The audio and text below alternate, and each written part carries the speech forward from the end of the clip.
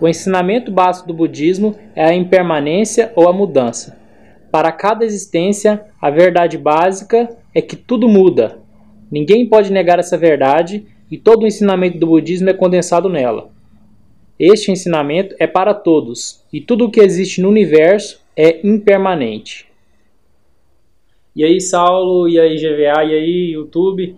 É, eu vou abordar nesse vídeo o assunto destruição da consciência. É, eu ia fazer um comentário lá no grupo GVA, mas ia ficar muito grande, então decidi fazer um vídeo para ficar mais rápido. É, então, basicamente, eu vou fazer esse vídeo por três motivos.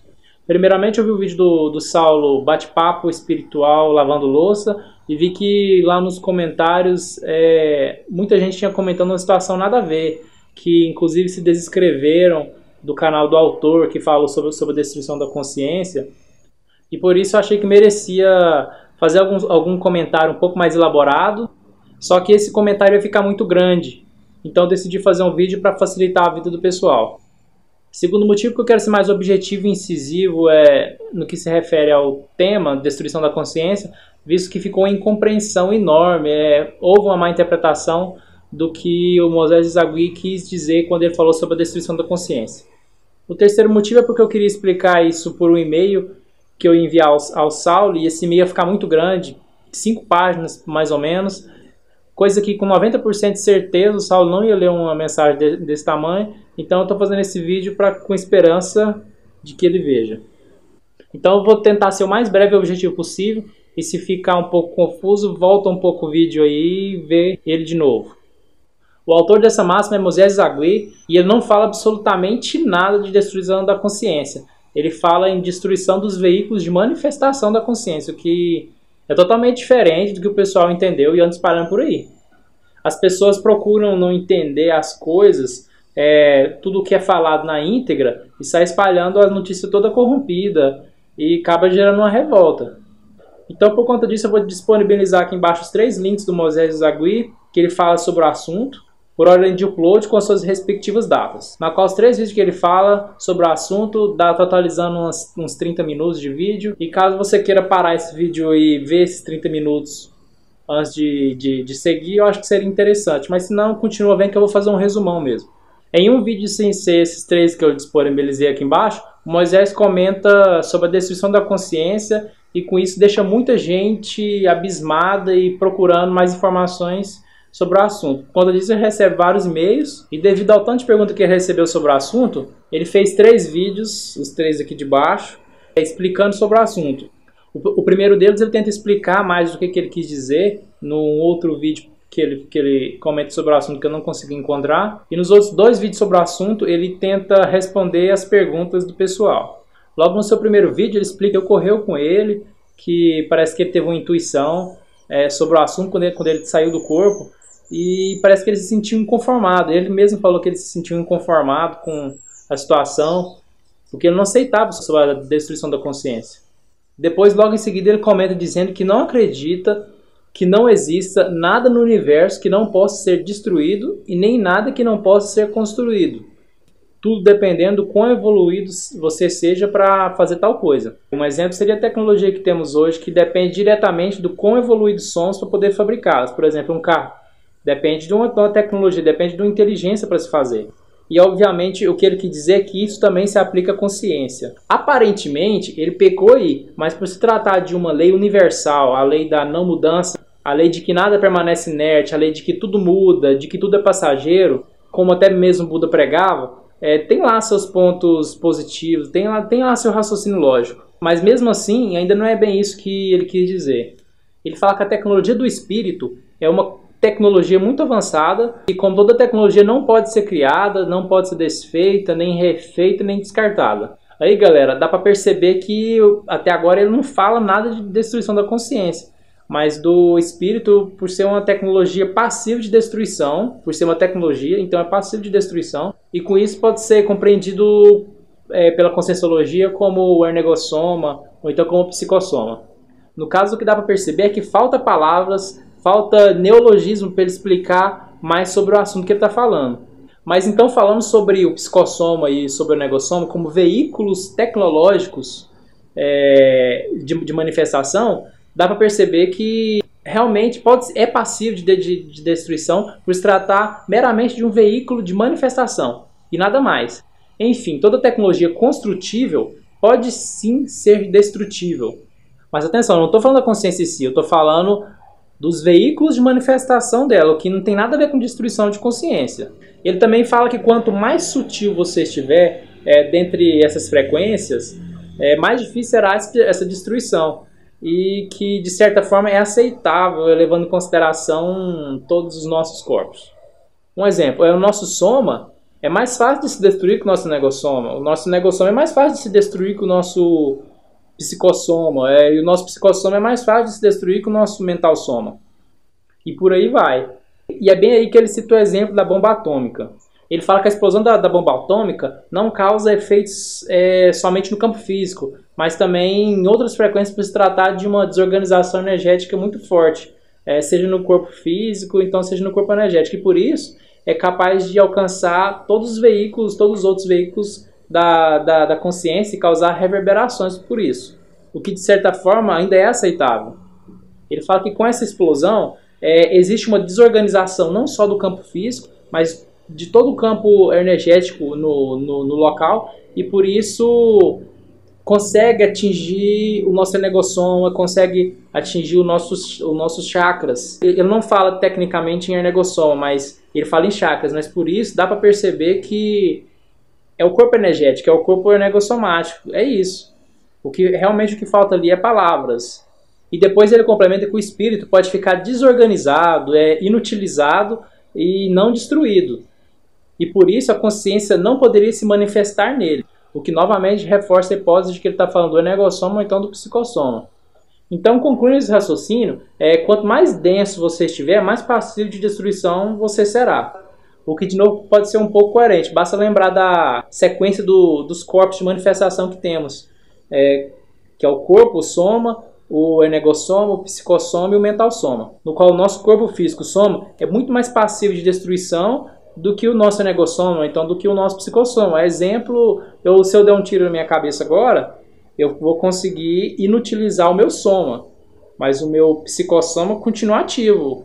Eu não consigo atingir ele com uma bala. Já no segundo vídeo ele responde uma pergunta, no qual a pergunta é: para onde a consciência vai em caso dessa destruição desse determinado veículo? Aí novamente ele torna a falar que pelo pensamento dele, tudo que pode ser criado pode ser destruído, e essa é a realidade universal. O que eu falei lá no começo do vídeo sobre o budismo. Mas racionalizando um pouco, é praticamente isso mesmo. Essa é a lei universal de que tudo é criado, é, de que tudo pode ser, tudo, tudo que é criado é criado para ser passageiro, é criado para ser destruído. Tudo que vem vai. E não tem como correr disso. Mas agora vou tentar ponderar algumas hipóteses que o Moisés talvez não conseguiu fazer. Bom, eu estava aqui pensando em alguma hipótese da consciência existir sem interferir nessa lei universal da impermanência e encontrei duas hipóteses.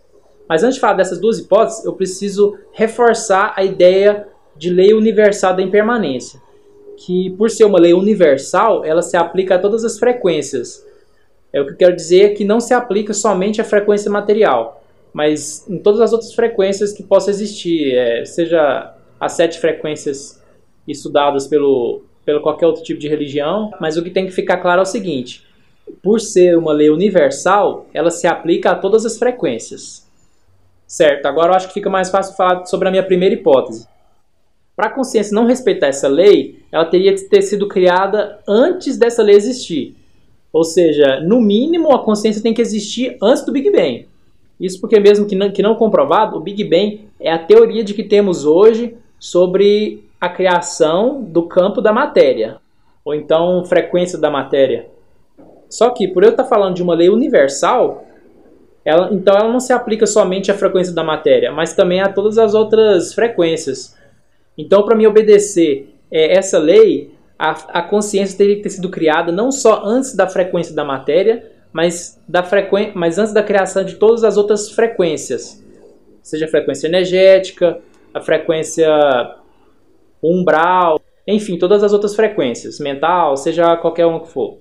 Só que essa hipótese é meio falha porque a gente está falando da consciência existir antes da criação, seja do Big Bang, que é a representação da frequência da matéria, ou então seja de outras hipóteses sobre a criação das outras frequências, ou então das outras dimensões, fica a seu critério. Já a segunda hipótese eu considero ela um pouco mais aceitável por ela ser um pouco mais simples. É, ela é baseada no tempo. É, na primeira hipótese, sempre trabalhamos com a criação, é a criação do espírito, que no caso viria antes da lei universal da mudança, é a criação da matéria, é a criação da lei universal em si, né? a criação de outras frequências de existência, enfim. Sempre falamos de criação, sempre falamos de início.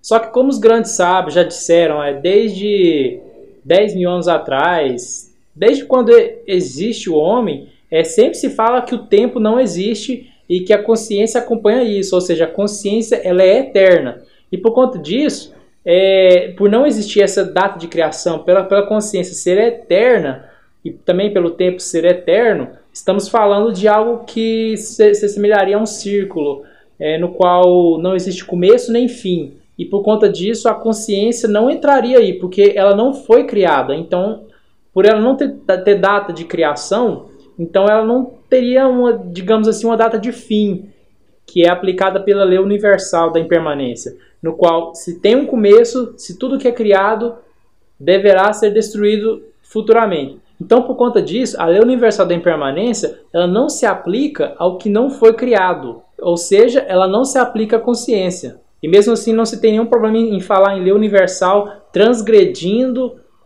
a eternidade da consciência ou vice-versa. É, deste modo, quando Moisés fala que ele, ele acredita que a lei universal de que tudo, tudo que é criado é criado para um dia ser, ser destruído, é verdadeira. Talvez ele não tenha citado o budismo em si, não quer dizer que não exista essa lei. Agora, dando continuidade à pergunta do segundo vídeo, que é para onde a consciência vai em caso de, dessa destruição de determinados veículos de, de, de manifestação. Por conta disso, eu vou usar uma analogia de novo para tentar responder essa pergunta e vai, vou tentar colocar como é, uma pergunta para responder essa pergunta. O que você faz se você é dono de uma bicicleta e precisa trocar de bicicleta porque ela está muito velha? Você troca, você vende a bicicleta, certo? É, agora, o que você faz se você tem de ir com essa mesma bicicleta para o trabalho e ela estraga a ponto de dar perda total de que ninguém quer comprar? Você joga fora e adquire outra, você compra outra. O que você faz se você vai para o trabalho de carro e um dia esse carro capota dá perda total? Você compra outro carro. Se, dá, se, se, o carro deu perda total, ninguém vai querer ele, ninguém vai querer comprar ele. Então você troca de carro. Então vamos aproveitar esse mesmo raciocínio. O que você faz se você sofre um acidente e morre? Você troca de corpo, você reencarna no caso. Agora, o que acontece se você sofre um acidente no seu corpo energético ou no seu psicossoma? Acompanhando o mesmo raciocínio, certamente você terá outro corpo energético ou então um outro psicossoma. Só que, como um acidente de bicicleta você fica temporariamente é, sem poder usar a ciclovia, é, ou então um acidente de carro você fica temporariamente sem poder usar a rodovia, ou então em um caso que você morre, você fica muito mais tempo sem atuar no plano físico, o mesmo se aplica ao ernegossoma e ao psicossoma e também provavelmente ao mental soma. Pelo seguinte motivo, tanto a bicicleta, quanto o carro, quanto o seu corpo, quanto o seu ernegossoma, quanto o seu psicossoma, são apenas meios de manifestação da consciência. Ainda, ainda não representa o que você é de fato, são só meios de manifestação. Também é importante deixar claro que quando a bicicleta estraga, por se tratar de um veículo barato, é, você troca por outra no dia seguinte, em questão de uma semana no máximo. Diferente do carro, que por ser um veículo de manifestação mais caro, por ser um veículo de manifestação mais elaborado, tem um pouco de burocracia, tem um pouco de tempo, demanda um pouco mais de tempo.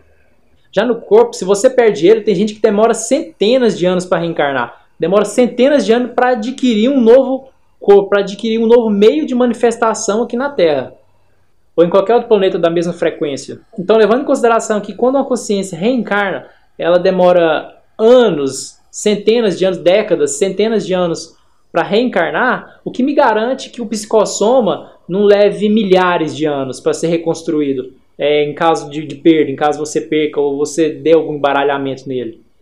Ainda no final do segundo vídeo, ele faz questão de reforçar sobre a desorganização da consciência de fato. Desorganização. Mas de qualquer forma, se você chegou aqui sem ver os três vídeos que eu indiquei, eu acho importante depois que acabar esse vídeo você voltar lá e ver para entender realmente o que ele quis dizer. Já no terceiro vídeo, a pergunta é mais ou menos assim: Eu poderia deixar de existir em um acidente de carro ou em um acidente de avião que tem explosões? Bom, pelo raciocínio que a gente desenvolveu até aqui, dá para perceber que não. Por se tratar, porque tanto o corpo, tanto o carro quanto o avião se trata de veículo de manifestação. Você não vai deixar de existir por conta disso. Só que por ser uma explosão simples, ela vai afetar somente o seu corpo.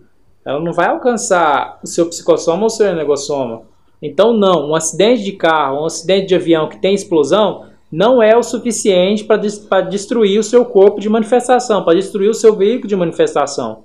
O que vai ser destruído provavelmente vai ser só o veículo de manifestação que você estava e o, e o veículo que te transportava. São dois veículos no caso, ou o carro ou o avião, e o seu corpo. Assim, quando Moisés fala de que tudo, pode, tudo que pode ser criado pode ser destruído, repito, é verdadeira, não tem problema em se falar isso. E só que ele esqueceu de citar Buda. Buda já falava isso há 2500 anos. Só que em outras palavras, tecnicamente pela teoria universal da impermanência. Também quando ele diz que os corpos de manifestação podem ser destruídos, é totalmente verdadeiro por esse nosso raciocínio. E por fim, Moisés fala que ainda não tem muita certeza sobre o que pensar, sobre o que pensar disso. E eu também faço dele as minhas palavras, porque a gente trabalhou aqui com hipóteses. Não é nada certo, não é nada verídico, não é nada científico, incontestável.